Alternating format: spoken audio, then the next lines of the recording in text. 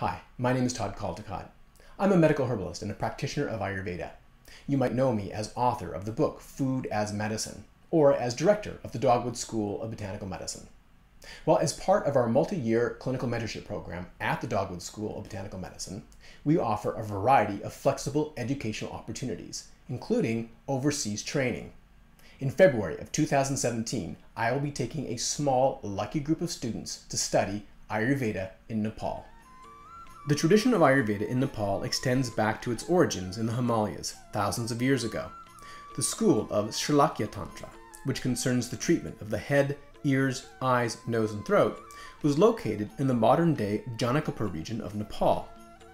Nepal is also famous as the birthplace of Siddhartha Gautama, known as Lord Buddha, and contains many important Buddhist pilgrimage sites. Located in the heart of the Himalayas, Nepal is a fascinating country with amazing geographic and cultural diversity, home to over 700 medicinal plant species, among which are many of the most important herbs used in Ayurveda. On this journey, I will be introducing you to the Bajracharya medical tradition, a fascinating tradition of hereditary Buddhist priests and physicians that draw their practices from the ancient Nalanda University, located in modern-day India. Practicing continuously for almost 800 years, most people in the West only learned of this tradition through the work of the late Vaidya Mana Bajra Bajracharya, a renowned Vaidya or physician of Ayurveda, who wrote 47 different treatises on the subject of medicine. About 15 years ago, I was contacted by my colleague Alan Tillotson, who approached me with the idea of publishing the first of Dr. Mana's books, which we published in 2009. Today, this venerable medical tradition is maintained by Dr. Mana's son, Vaidya Madhu Bajra Bajracharya, who practices in Nepal's oldest Ayurveda clinic in Kathmandu, providing treatment to both the local population as well as patients from all over the world.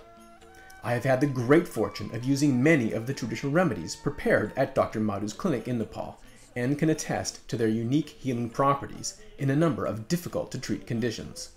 If you join us in February of 2017, you'll have the option of participating in our two-week immersion program, or for more committed students, the five-week clinical program. During these programs, you'll spend time with me, Dr. Madhu, and other experienced clinicians, including a visit with Dr. Sarita Shrestha at her Devi Ma Ayurveda Rural Hospital.